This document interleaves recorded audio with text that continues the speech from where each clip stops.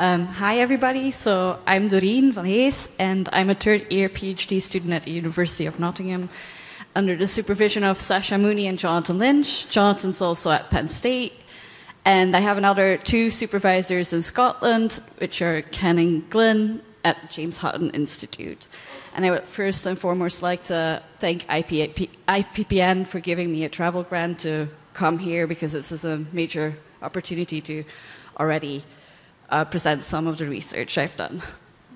Um, so basically, the presentation is going to be in like three parts. I'll focus on some field stuff, go over some root data and some anatomy data, and I'm ma mainly going to only focus on the stuff I've been doing in the field, although I've also been working in Nottingham with the X-ray CT scanners in order to uh, quantify uh, the reaction of roots under fully, uh, fully impeded conditions as well as uh, interactions with layers in pots.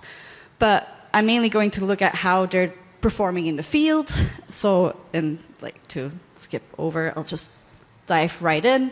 Uh, there's two different field sites I've been able to use. One's at the Apache Root Bio Biology Center in Arizona, and the other one is at Pennsylvania State University.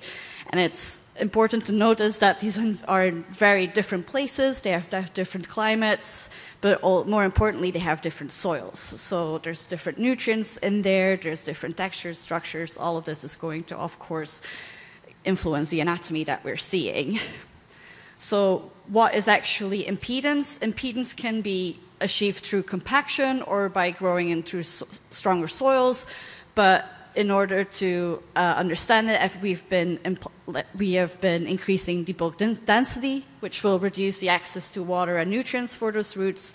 It will alter and reduce your root growth, which can lead to reduced shoot growth and reduced yields. And if you see it, so look at some of the pictures in the field here, it's clear that at ARBC we had very much a reduced um, plant growth under compaction, as well at PSU. If you look closely, there's a bit of a dip in the far, far right of that picture, but I should have probably taken that picture under a different angle. So basically, in the fields, um, we have a field season. Most of the work is going to be at the beginning and at the end. So we first of all need to figure out how to compact that field. Then we go on planting. There's a growing season, and it's not that nothing happens there. Um, we tracked differences in how the texture, uh, how the structure of the soil might be changing. We followed up the moisture content of those, that soil, and at the end of the field season, we have a bunch of phenotyping to do, and I'm very glad for my team at the Penn State University for helping me out with that because it's a ma massive effort to get all those plants out of the field. So first of all, if we go to the beginning of the, uh, of the field season, we compact some fields. So basically, we run over the field with a heavy vehicle with like small tires. This is a photo of the first run in Arizona, which wasn't really successful the first time because we were trying to compact on quite like hard soil already because there was not that much water in there. So in order to have it to a higher level than first intended, we irrigated and then went back, and then we did uh, get some differences in penetrometer resistances between compacted and non-compacted fields. In uh, Pennsylvania, we opted not to compact that high because once a plant is, or a root is going to experience more than two megapascals of um, penetrometer resistance, it might get really majorly impeded. And it's not that I wanted no plant growth at all, so it's a bit of a like like a decision to make at a time how that looks. So if we then jump to the end of um, the field season, basically what I'm trying to show here is that we're trying to collect three sets of images. Uh, the first set you can get through coring, so either we go in by hand with some sledgehammers, but if you're really a bit of luxury, you get a coring rig. And uh, with the coring rig, you go in, you can extract the cores. These are cores that only go 60 centimeters deep. I do know roots can go deeper than that. Um, those cores are then uh, washed in 10 centimeter increments and scanned on a Rhizo system, and then you will get a picture like this. The second set of pictures is more uh, to address some architectural traits. So Jonathan called this shovelomics because is basically using a shovel to get those plants out. We dig them up, we wash them, the crown gets split from the rest of the plant. The rest of the plant can be dried to require biomass, and then we image a root crown, which can be analyzed with software like DIRT to get some, uh, some architectural traits out. But more importantly for my piece of research is that that crown also goes into further anatomical sampling. So basically, you can select different nodes or whorls in maize. Um, I've chosen to look at the whorl 3 and whorl 4 in those roots because that's past a seedling stage. Um, you clip those roots out, they can be stored on ethanol and later be analyzed under a laser ablation system. And then you get a picture like on the end where you can look at anatomy. So if we jump back to the roots and give you some data, basically what comes out of this is that impedance is going to influence your root distribution. So your roots are going to move up in your profile, and we saw that both in the Pennsylvania as well as in the ARBC fields. It's more outspoken in the Arizona desert than it is at Pennsylvania. Um, but all these genotypes are going to go react differently. So if we look at the absolute coarse root lengths, we see that all these genotypes might be putting their roots down differently, and I think there's different is there's four different ways of roots to um, grow under compacted conditions, basically uh, based on how they're distributed and how deep they're going. So the two genotypes on the left are the ones that reduce their root growth under stress, and the two on the right have the same amount of root growth under stress. But if you plot uh, the different depths that these roots are going to reach, there is, although, for instance, within those within those roots that are within the genotypes that produce less roots, the one in the middle, MO178, is still possible to root slightly bit deeper than the other one. And for the genotypes that maintain the same amount of roots, there's either the ones that put them down like there's nothing happening, or there's ones that are going to put everything above that compacted layer. So there's four different kinds of reactions.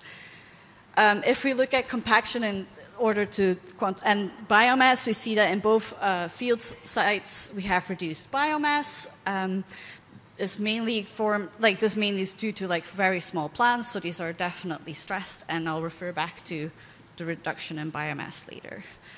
So what I'm that interested in more is actually the anatomical traits. So through my PhD, I've basically been doing three types of uh, sectioning methods. We can use hand sectioning and light microscopy. It's very tedious. You'll spend lots of hours behind a microscope. Or you can do it with a vibrating microtome and a scanning confocal microscopy. Um, there's some methods you can, where you can slice up some multiple roots at the same time. It's still too slow, so I only use that in combination with the X-ray computed tomography um, because there's less plans in that study but I've been given the opportunity to use the laser ablation tomography system at Penn State, and you get these blue pictures out of it, and it speeds up sampling about 10 times. So I can do about easily 100 roots a day. So this is laser ablation tomography um, system. Basically, a laser's generated, it's going to pass through the cabinet, and it's going to be reflected down on top of your root um, the root is then moved into like oscillate, this oscillating laser and it cuts and images at the same time. This gives us these 2D images, but hopefully soon we can also analyze these uh, in 3D because I would be very interested to know some cellular volumes and uh, other volumes of traits. Um, so for these 2D images, I've been mainly looking at cortical traits. So this is a sum up of the traits I've been trying to analyze. Uh, we look at root cross-sectional area and then also the area of the stele and the cortex in that. And more specifically, for the cortical traits, I'm looking at aerenchyma, but also the really small traits like cell file number or the area of the cells in the outer, middle, or inner region. And if we put all that data into a PCA to understand how they're working together. You can see it's quite complicated. So not only are these traits all interacting with each other, there's also an effect of both the treatment as well as the treatment in the field or the field and also the genotypes. So it's very complicated to understand what's actually happening uh, in, in this study. But what we do know, and the general consensus is that is that roots taken under compaction, right? But if we look at the root cross-sectional area, we actually did not really see that happening, which was a bit of a surprise to us, right? Um, but you have to remember that these are also smaller plants, so there might be some scaling effect in there. And if we look at the cortical area, we do see that some of these plants are um, putting out more cortex. So there's more cortex to, find, to be found in those plants. So they're actually are they are thickening, although those plants are smaller. And if we look at more, uh, more in detail in cell size, out of my other st study, in my pod study, I saw that if you have smaller outer cortical cells, it's, it's going to grow better through a compacted layer. But if we he see here, part of that effect is lost in the field, but that could also be due, due to the structure or the texture of the soil, or if there's like other stuff happening, like uh, certain architectures of the plant, or maybe different root tip shapes. So there's lots more to explore. So in conclusion, it is possible to induce impedance through compaction, as we compacted some uh, we compacted some um, fields and saw some output there and like reduced yields and um, reduced biomass. Uh, phenotyping for anatomical traits can be su su successfully uh, carried out. Root distribution, absolute coarse, root length, biomass, and your rooting depth are all influenced by compaction, but the, the genotypes are going to um, react differently to overcome this. And there is a technology called laser ablation tomography, which speeds up my sampling significantly. And we can see that root anatomical traits going to react to levels of impedance, and it might be adaptive and reactive, and can contribute to the ability of a plant to grow under uh, conditions. So what I really want to support is basically that if we are going to phenotype roots that we also need to look at the anatomy because there's definitely something there that needs to be further explored. So thank you for your attention.